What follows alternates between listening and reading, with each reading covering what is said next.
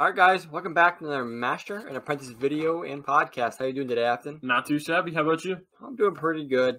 Got ourselves a Sunday, some football going on, pretty good. Um, if you guys have already seen, there's a picture slash link. We've done a, a politics video explaining just the politics and all of that behind the scenes for uh, the, the prequels and a little bit before that, the Clone Wars and all of that. Today we're going to do its predecessor, the original trilogy, all the politics going into that, uh, all the politics between the two uh, trilogies. And uh, yeah, without further ado, we'll get right into it. Uh, Act 1.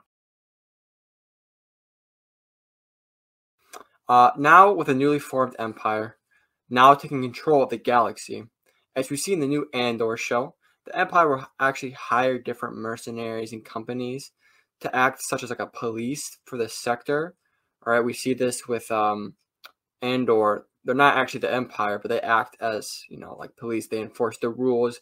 They do the bidding for the Empire because the Empire is still expanding and still trying to build up its new army and forces.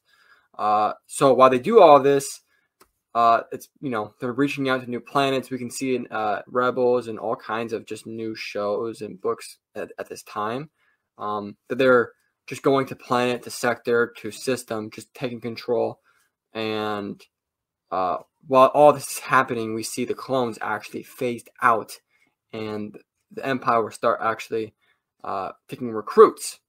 So they switch from having a little bit less numbers but really high, highly trained army to lots of numbers but not not as well trained army. Yep. So um, Act Two. While the Senate is still in play and all the power is being handled by the new Emperor Palpatine.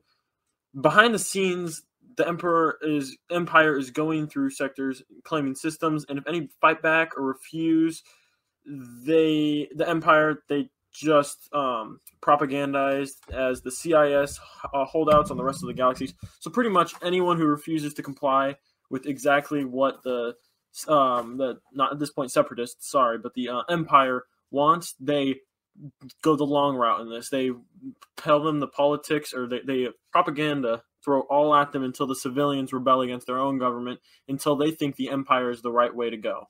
So we see it. We actually see this in in the novel Catalyst, the Rogue One novel.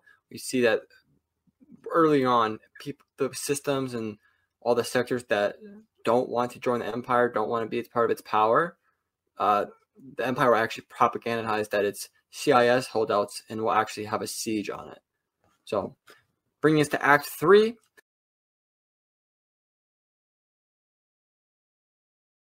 As the empire is fresh, the empire rules the galaxy fairly, at least the first look. People just see Palpatine as Chancellor Palpatine, this nice, uh, very good looking, very charismatic dude who is, you know, taking control of the galaxy, right? He wants an empire because he wants unity, right? That's how people look at it first.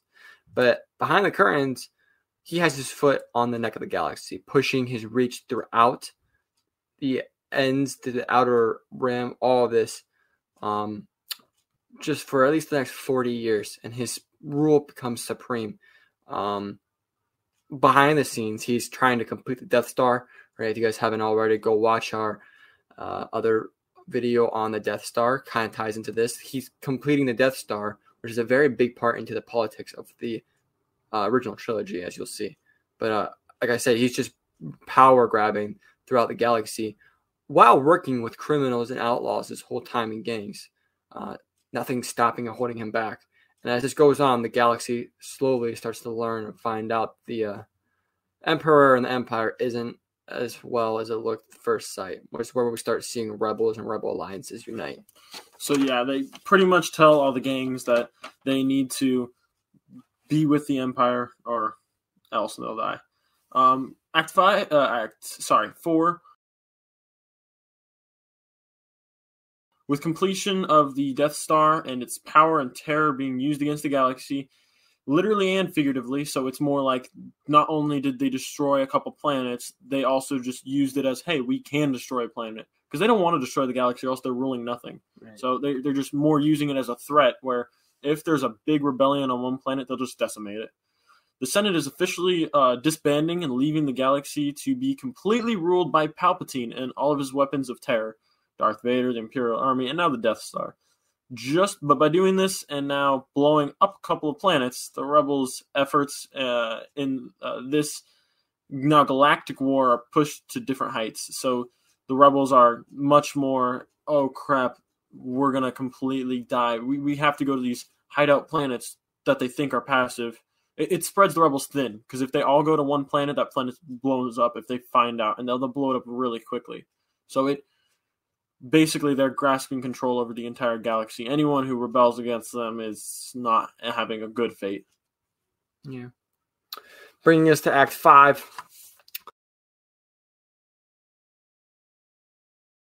With the war at an all time high now, uh, we get the events of Battle Yavin. And this is a pretty big deal because it brings the destruction of the Death Star. Uh, a lot of high leadership, like uh, Grand Moff Tarkin, are killed. And this is the first big devastating blow to the Empire, where it, it it's officially a galactic wide war. And um, this goes on pretty much until the events of uh, Return of the Jedi. Really, nothing else happens in particular. The Senate is disbanded with the completion of the Death Star, and so it just turns into a pretty much dictatorship. Right, as soon as the Death Star is completed, there's no more Senate. Palpatine, if it's his way, or your planet's gone and that's what it, that's what it becomes. But with this, like I often said, the Rebel Alliance takes down the Death Star, and it becomes a huge war. And it's just about who's going to survive, who's going to win. It, it's not looking good for the Rebels for most of it, but then, like we see through Return of the Jedi, they're able to knock down the Death Star too. They're able to kill Palpatine. They're able to kill all high leadership in the Empire, bringing us to pretty much the end of the Empire. There's little, you know, contingency plans and holdouts, but it's not the ruling government anymore for the galaxy. Especially Palpatine's gone. He put all the power in himself, and then he died, and cutting the head off the snake. If the higher other officers didn't have his exact plans in mind, then well, the Empire pretty much just gets disbanded. We see the contingency plans in let's say the Battlefront 2, the cinematic playthrough, but it's not it's not the government. It's not the ruling government anymore. Which brings us to the creation of the New Republic, which is essentially like the republic that we see in the prequel era. Uh, there's a chancellor, um, and there's a senate, and the senates are you know different systems represented by their senator. Um, and it kind of brings us towards the sequel trilogy, which will be a, a part three, obviously.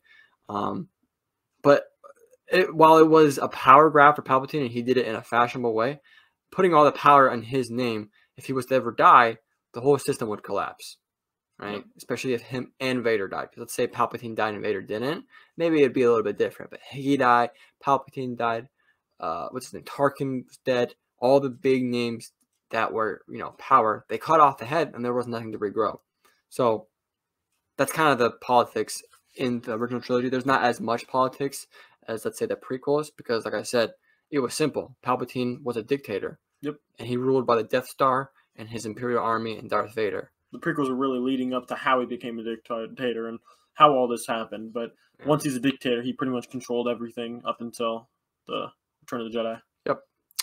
Uh, bringing us to the end of the video. Uh, if you guys got any questions, let us know. Uh, like, like I said, we're going to do a part three, the sequel era, and kind of like the Mando era of the universe and the galaxy, and how the First Order came into power and the government of the New Republic fell, all that. We'll get into it uh, in the next next part. If you guys enjoyed this video, leave a comment. Tell us what you guys want to see next, what you guys think about all of this. If you guys have anything wrong with it that we may have messed up. Uh, otherwise, don't forget to hit that subscribe, hit that like. If you're on podcast, hit that follow. You got anything else, Afton? That's it for me. All right. Hope you guys enjoyed, and we'll see you guys later. Peace.